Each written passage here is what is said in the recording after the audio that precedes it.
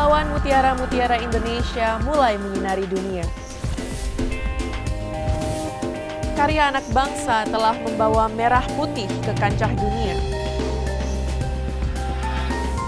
Semangat sportivitas menghasilkan hasil yang gemilang.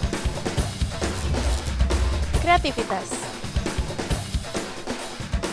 intelijensia, dan inovasi membawa prestasi tertinggi ke seluruh dunia. Sampai dunia mengakui prestasi yang luar biasa. Inilah prestasi yang membanggakan Indonesia. Kebanggaan bersama milik bangsa.